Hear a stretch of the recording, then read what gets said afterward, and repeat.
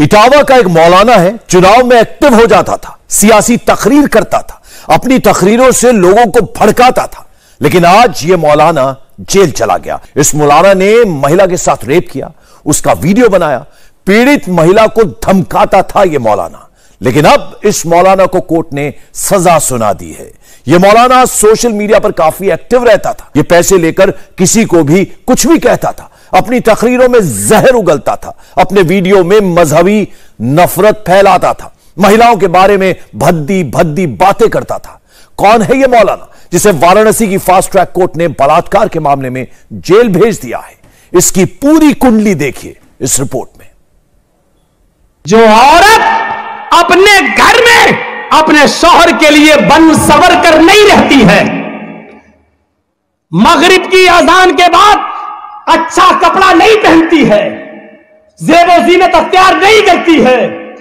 Makeup अच्छा नहीं करती है। अपने जिस्म पर खुशबू नहीं लगाती है। अच्छे कपड़े नहीं पहनती है। अपने शोहर के लिए बन सवर कर तैयार नहीं होती है। अगर ऐसा नहीं करती है तो उस औरत को यह कहने का और इस शिकायत का कोई अधिकार नहीं है। कोई हक नहीं है कि वो 12 बजे आता और 1 बजे आता है। क्या करेगा कि तुम्हारे पसीने की बदबू सुनेगा? खुद को तो मौलाना बताता है, लेकिन इसकी हरकतों ने इसे जेल की सलाखों के पीछे भेज दिया। मौलाना जर्जिस अंसारी ने पीड़ित महिला को साल 2003 में उपदेश के बहाने होटल के कमरे में बुलाया। महिला के साथ रेप किया। मौलाना जर्जिस अंसारी ने पीड़ित महिला का वीडियो भी बनाया। पीड़ित महिला को शादी का झांसा दिया। अश्लील वीडियो बनाकर महिला को धमकी भी देता रहा।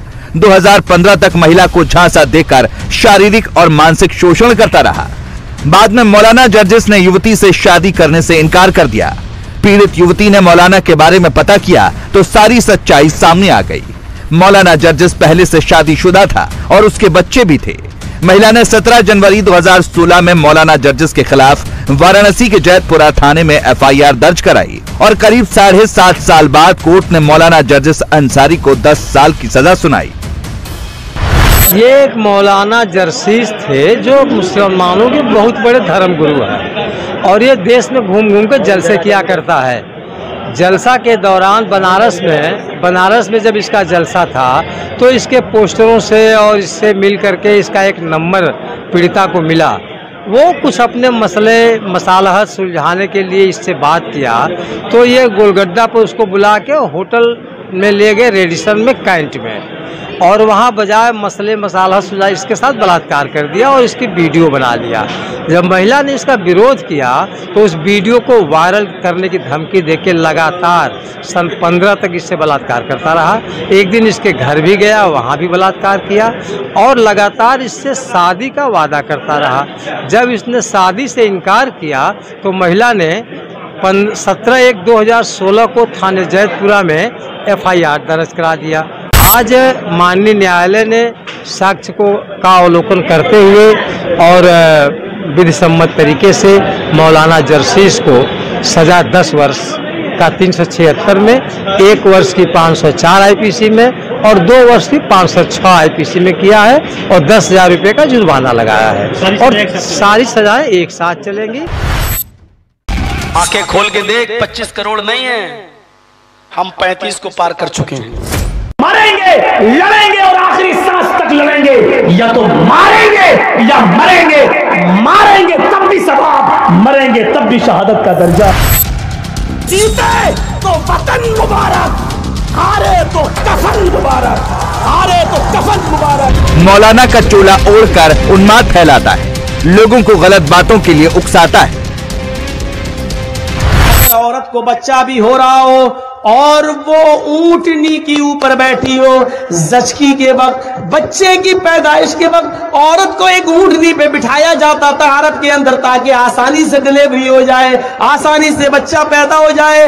फरमाया, अल्लाह के नबी ने अगर तुम उस ऊटनी पर भी बैठी हुई हो और तुम्हारे बच्चे का डिलीवरी का वक्त करीब हो और इस हाल में तुम्हें तुम्हारा शोहर हम बिस्तरी के लिए तुम्हें बुलाए, तुमसे वो ये चाहे कि वो अपनी बीवी से फ़ायदा हासिल करे तो आए औरत, तुझे उस वक्त भी अपने शोहर के पास जाना पड़ेगा। सोशल मीडिया पर मोदी विरोधी प्रोपेगेंडा चलाता है। मुस्लिम मोहल्लों में जाकर छोटे छोटे बच्चों को भड़काता है। अपनी महिला विरोधी सोच, कुंठित मानसिकता की वजह से इसने ऐसा गुनाह किया, जिसकी वजह से आज ये मौलाना सलाखों के पीछे है। कोर्ट में गुनाह साबित हो गया, अदालत ने सजा सुना दी, लेकिन चेहरे पर हँसी है। सीए, एनआरसी के विरोध प्रदर्शन में भी ये मौलाना जगह जगह जाकर पीएम मोदी के खिलाफ जहर उगलता था। गृह मंत्री अमित शाह के खिलाफ भी अपना टेप बजाता था। मोदी और टकले सुन। मोदी और मोटे सुन। तू क्या समझता है कि तेरे इस कानून से हम भाग जाएँगे? तू क्या तेरे बाप का बाप का भी बाप हमें भारत से भगा नहीं सकता? हम भागने के लिए भारत में आए हैं। भागोगे तुम। वीर से धारा 370 को हटाया और उस पर भी उसने हमारे सब्र का इम्तहान लिया है। लेकिन इस मर्तबा बेचारा धोखा खा गया, क्योंकि उसने ये पत्थर किसी कुत्ते और बिल्ली पर नहीं, उसने ये पत्थर मधुमक्खी के छत्ते पर फेंका है। उसको अंदाज़ा है, पत्थर फेंकने वाला भी वही, मारने वाला भी वही लेकिन मधुमक्खियाँ वह नहीं हैं जो पत्थर फेंकने वाले को छोड़ दें। ये सारी मधुमक्खियाँ अपने छत्ते से टूटकर, मोदी जी, तुम्हें ऐसा नोचेंगी, ऐसा खाएँगी कि या तो तुम्हें ये कुर्सी छोड़ना पड़ेगी, या तुम्हें सीएए का बिल वापस लेना पड़ेगा। योगी जी बड़े भक्त बनते हैं, राम के और राम मंदिर बनवा रहे हैं अयोध्या में।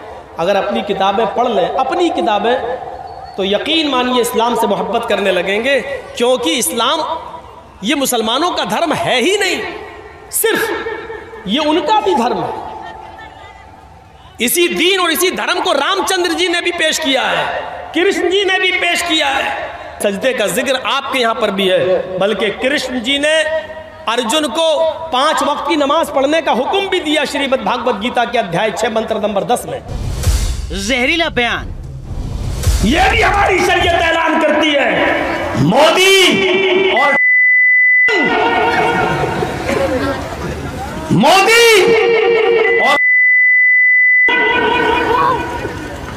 तू क्या समझता है कि तेरे इस कानून से हम भाग जाएँगे? तू क्या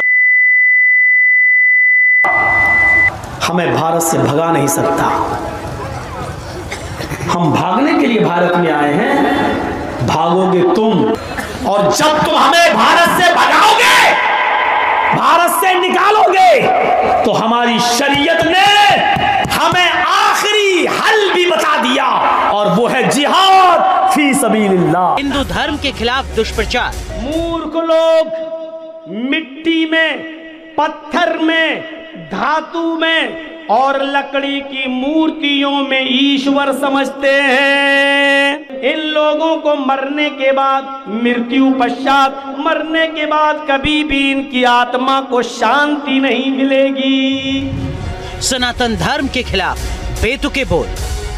तो ऋग्वेद में जो बात कह दी है वो हमारे हिंदू भाइयों के भी देर में समझ में आएगी। जिस तरह प्रेम करने वाली पत्नी का एक ही पति होता है बहुत से पति रखने वाली और मर्द रखने वाली पत्नी नहीं होती। ऐसी सच्चे भक्त का एक ही ईश्वर होता है। एक ही ईश्वर पर भरोसा रखता है। देव बहुत से देवी और देवताओं पर बिलीव करने वाला होता है। ये वो बयान है जो आपको अंदर तक झंझोर देंगे। ये सिर्फ़ बयान नहीं है। ये हिंदुस्तान के राष्ट्रवाद को चुनौती है। ये हिंदुस्तान की धार्मिक आस्था को चुनौती है। ये देश में माहौल खराब करने की साजिश दूसरा